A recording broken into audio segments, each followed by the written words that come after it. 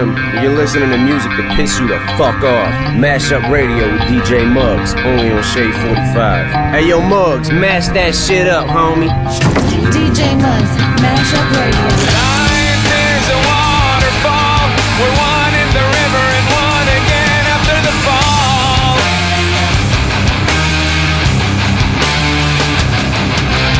We are the ones that wanna choose.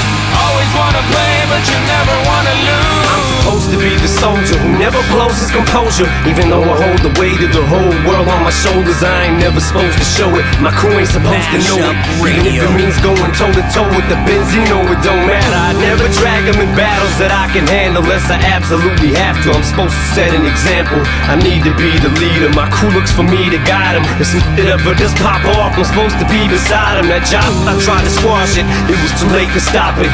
There's a certain line you just don't cross, and he crossed it. I heard him say Hailie's name on a song, and I just lost it. It was crazy. This shit went wavy on some Jay Z and Nas.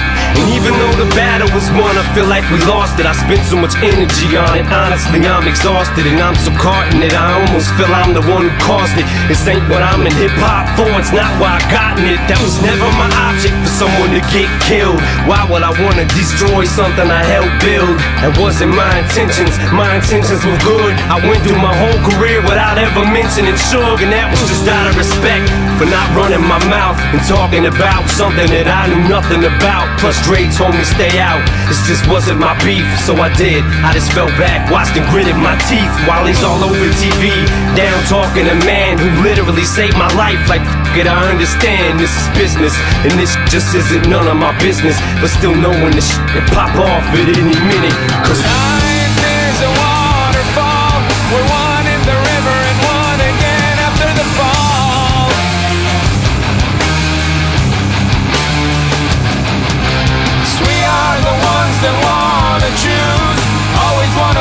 But you never wanna lose. There used to be a time when you could just say a rhyme and wouldn't have to worry about one of your people dying. But now it's elevated, cause once you put someone's kids in it, it gets escalated. It ain't just words no more, is it? It's a different ballgame. You call names and you ain't just rapping. We actually tried to stop the 50 inch beat from happening. Me and Dre had sat with him, kicked it and had a chat with him and asked him not to start it. He wasn't gonna go after him until Ja started gapping in magazines how we stabbed him. 50 smash and mash on him, let him have it. Meanwhile, my attention's pulled in another direction. Some receptionist at the source who answers phones at his desk has an erection for me and thinks that I'll be his resurrection. Tries to blow the dust off his mic and make a new record. But now he's the game up, cause one of the ways I came up was through that publication. The same one that made me famous. Now the owner of it has got a grudge against me for nothing. Well, f- it, that motherfucker could get it too. Come in, but I'm so busy being pissed off, I don't stop to think that we just inherited 50s beef with Murder Inc. And he's inherited mine, which is fine. Ain't like either of us mine. We still have soldiers that's on the front line, that's willing to die for us as soon as we give the orders.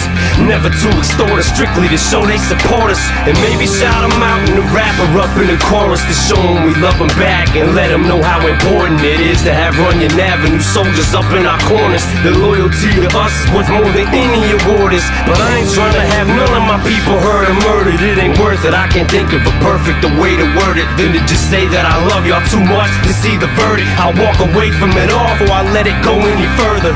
But don't get it twisted. It's not a plea that I'm copping. I'm just willing to be the bigger man. If y'all can quit popping off at your jaws, well then I can. Cause frankly, I'm sick of talking. I'm not gonna let someone else's coffin rest on my conscience. Cause Aerials in the sky.